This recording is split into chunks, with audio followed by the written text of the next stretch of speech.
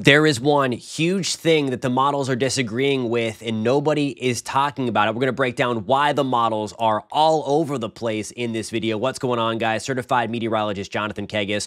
We're going to take a look at some of those models and we're going to really dive deep into the meteorology on why the models differ so much point blank, the biggest reason is we don't have a storm to track at this point. We're going to get right to the National Hurricane Center map, and you see this orange blob. That's the percentage that the Hurricane Center is giving for a storm to develop here. You see it's in that medium color, 40 to 60% there in the orange. Now, we do, we are starting to get anyway the gyre to set up. This is going to be born out of something known as the Central American Gyre. It develops in the early part and the latter stages of the season, and we're starting to get thunderstorms in both the Pacific side and the Atlantic side in the Western Caribbean now. So it's going to be a big area of rising motion.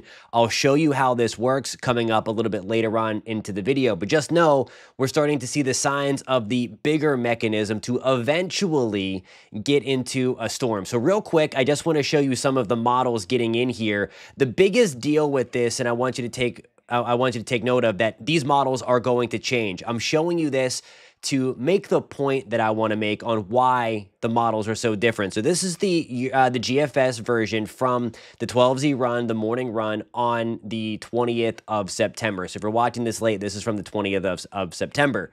GFS taking aim on the North Gulf Coast. Now, here's the thing, and this is what the people aren't telling you. They're not talking about the steering currents with this and other things on YouTube they're just showing you the dire solutions. Yesterday's morning run of the GFS had this thing being a historic storm coming ashore around Tampa. Okay, obviously you see the changes here. And again, until we get a storm to develop, we're just not going to know. I want to be real with you guys. I want to be transparent. I believe in that wholeheartedly to show you the forecast process. More on that rant a little bit later on in the episode here. So that was the GFS. The European is super, super weak. No one's really showing you that because they want to show you the doom and gloom. So I want to show you the weak solution here. And there's our area of low pressure. Same date on Saturday. That's going to be on uh, September 28th. That was also September 28th, by the way. But a very weak system emerging into the Bay of Campeche. Big, big differences. Here's the icon model. It's a similar solution to the GFS. It's closer to the upper, uh, the northern Gulf Coast, upper east side of the Gulf of Mexico.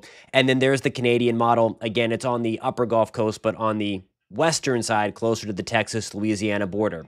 Okay, throw all of that out. I don't want you focusing on those individual model runs. At this stage in the game, ensembles are your friend. Those are still all over the place, but you have to know why the models are doing what they're doing. And that's what we're going to get into next. And this is the big thing that you're not seeing out there. Models need to be posted with context. So what we are looking at now is the 500 millibar height and anomaly, okay? This is going to be what is going to steer this thing if it were to be on the strong side. This is where the critical difference lies between the GFS, which has a powerful hurricane in the north or eastern Gulf Coast versus the much weaker Euro. So what we're looking at here is you see this blue, there's going to be a nice dip in the jet stream according to the GFS. So what this dip does, it helps to grab whatever is developing down there and then lift it to the north and then send it east a little bit. So this is our big ridge of high pressure to the west over the Rockies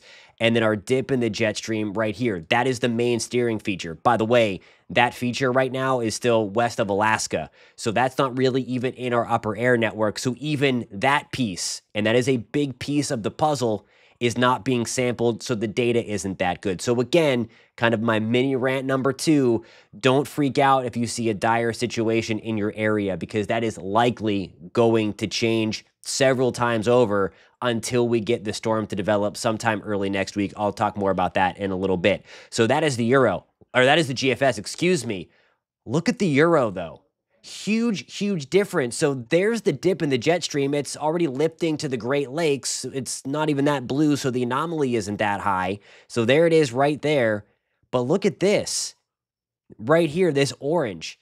The Euro wants to completely build a big ridge of high pressure expanding across the entire Gulf Coast and Florida, and that squashes the development. And we saw what that does to the euro, a weak or to the system on the euro. It has a weak system and it very southwest. GFS wants that trough to come here and it lifts it up and pushes it to the east.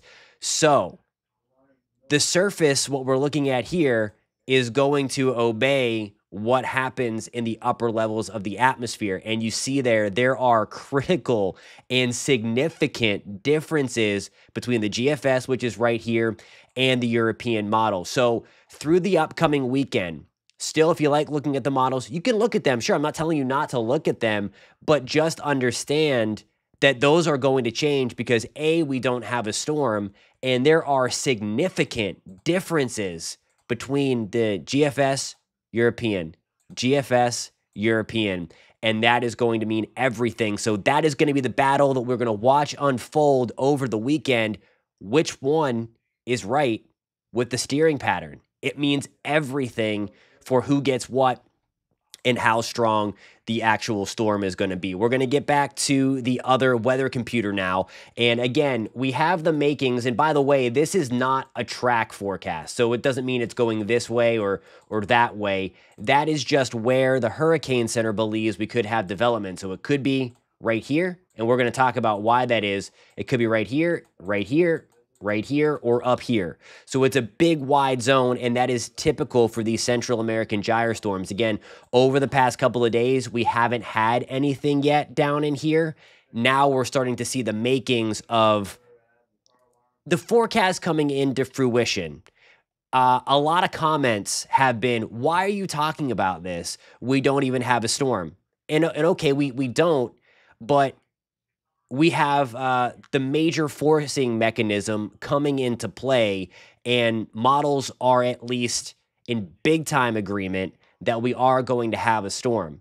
It's the strength and it is the track that is in question here. And I want to show you this. Again, I, I, told you before that I'm all about transparency. I want to show you what we know and what, as meteorologists, that we're kind of looking at behind the scenes that's why I hate posting the models without context and just saying, not a forecast. Oh, here's a Cat 4 into Tampa, or here's a major hurricane into Louisiana. You can't do that. So I want to be real with the guys. All right. So here's at least how I see the forecast confidence, at least from a forecasting standpoint. I have high confidence that we're going to have a storm. I don't have it cranked all the way up, but again, we're in that medium to high zone. I do think by early next week, we are going to have something to start tracking, and then we're going to have better forecast confidence all around. The storm track confidence, though, is going to be low because the steering piece is in the Pacific Ocean, and the storm that we're going to be tracking hasn't even developed yet. As a result of that, the intensity is also going to be low on the forecast confidence side. So that is what I am thinking right now. There's just not much to track. So again, just use caution when you see stuff. Taking this out here, this is the GFS rendition. You saw where the model put it, but basically I wanted to show you this because this is what the gyre does. So we have this area, this big broad area of low pressure. You see that counterclockwise spin right here. But what I also want to highlight is this. So what the gyre does is it spits out these lobes of low pressure and then it's in one of those lobes is going to be our storm. So there we have it right here. We have another one right here. There's another one out here and there's another one way out here south of Jamaica. Any one of those could develop. On this model, on the GFS, it wants to develop this storm or this piece right here. So that is what it's going to favor. That's the most dominant piece. There's even a couple of teeny tiny lobes right here that could end up pulling it back and, and forcing it uh, every which way. And that's what we're going to have to watch.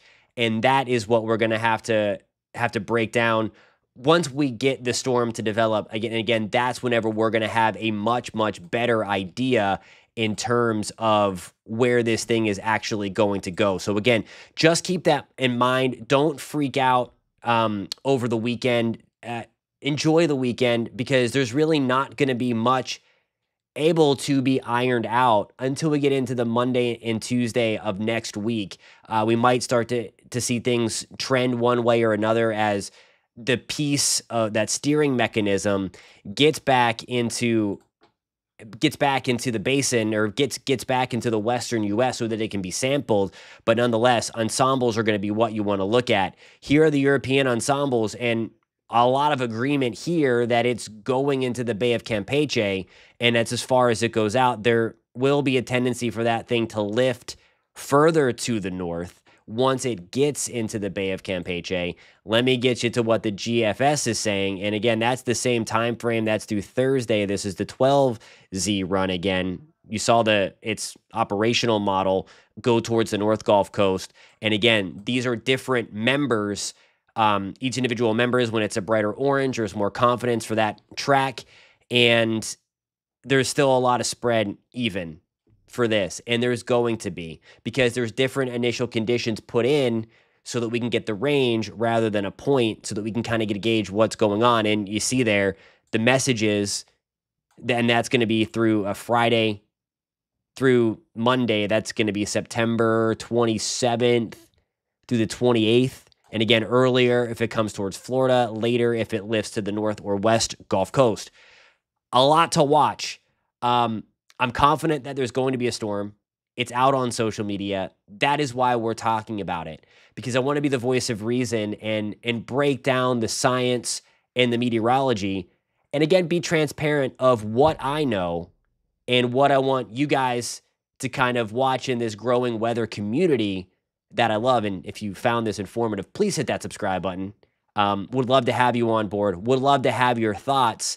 Uh, if you found this helpful, share it with a friend post in the comments where you're tuning in from because I'd love to know what the weather is doing. That's part of why this channel's here to kind of combat some of the fear and the misinformation that is out there. The thumbnails are getting crazy and to also have the weather conversation with you guys. I know a lot of you are interested in the weather. I want to get your thoughts as well and have this conversation. So post your thoughts in the comments, post what the weather's doing in your location. And if you found this informative and if you want to have the conversation going forward, please hit that subscribe button. We're going to keep you posted on this uh, on this channel, on this system over the next several days until it goes away or until it makes landfall, of course. And we got you covered as we get ready to think about winter over the next couple of months. Alrighty, guys, thanks so much for tuning in. Have a great weekend.